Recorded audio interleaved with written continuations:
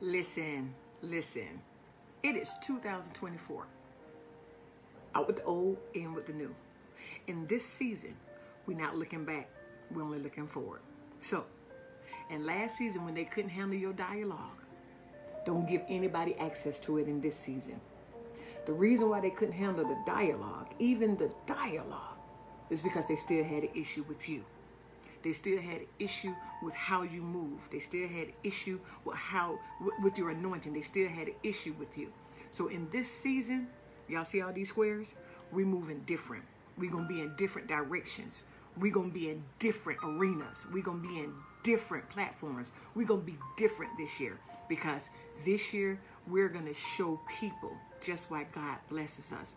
We're going to show people how to get blessed. We're going to show people that God is still yet alive. God is still real. God is still showering you down with blessings.